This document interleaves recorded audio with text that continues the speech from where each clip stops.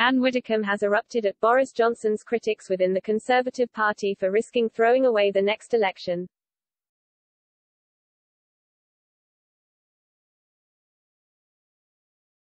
Former Brexit Party MEP Ann Widdecombe has blasted Tory rebels Steve Baker, Andrew Bridgen and William Hague for throwing away the next election as she called for the Conservative Party to unite behind Boris Johnson or risk undermining Brexit.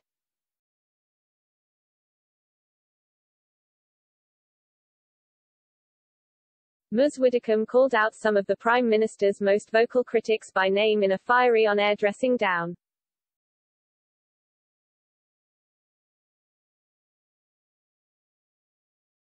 Ms. Widdecombe told Talk TV, I know what that party should be thinking about now, and that God it's no longer my party, all that party shouldn't be thinking about now is winning the next election and it ain't gonna do that if it breaks up into factions and squabbles and tries to shoot the general every single time something goes wrong.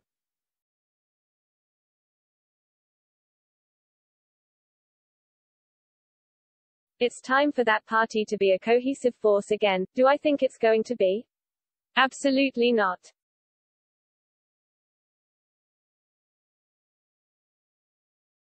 It is throwing away the next election.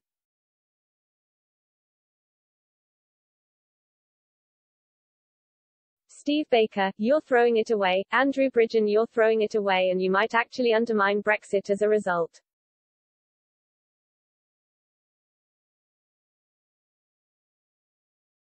She continued, William Hague, shut up. You know you came in an awful lot of criticism people like me supported you with absolutely my loyalty throughout now do that for your successor and Michael Howard, the whole lot of you shut up.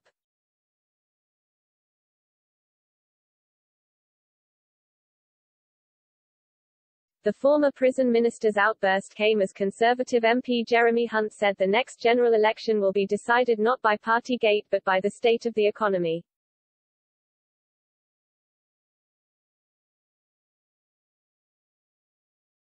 Mr. Hunt, a persistent backbench critic of Boris Johnson who contested the 2019 Tory leadership contest, also did not rule out standing in any future race.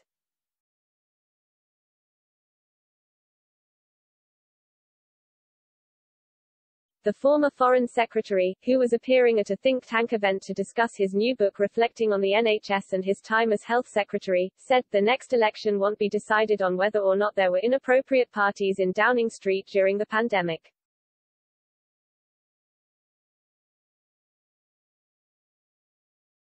I think the next election will be decided on the economy. And the core reason that ordinary voters vote Conservative is because they think that we will look after the economy better and therefore there'll be better prospects for them and their families.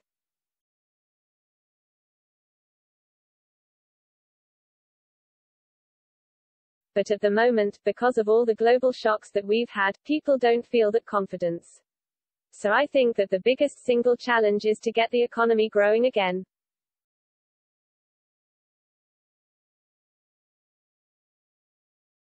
Mr. Hunt has already publicly called on Mr. Johnson to go.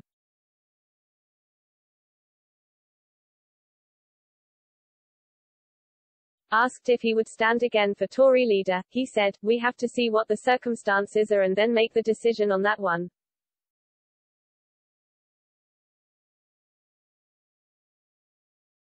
The Prime Minister is currently facing a fresh controversy after Deputy Chief Whip Chris Pincher dramatically quit last week over allegations he groped two men at a Conservative private members club.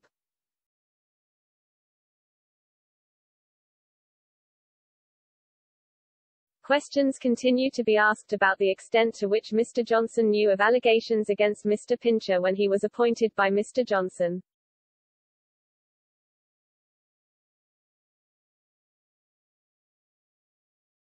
Those allegations were acknowledged, if not directly referenced, by Mr. Hunt when he was asked whether UK politicians needed to be better at admitting mistakes.